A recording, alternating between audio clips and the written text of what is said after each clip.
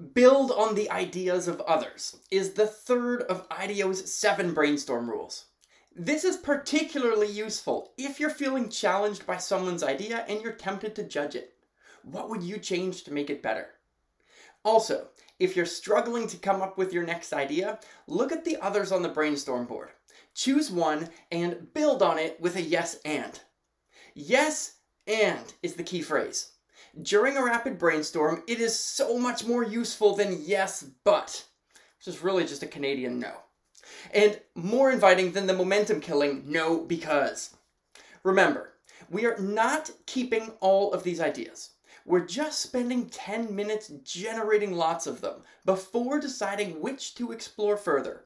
And building on the ideas of others both helps generate more and continues fostering a welcoming ideation environment. Thanks for watching Innominute. Innovative ideas in about a minute.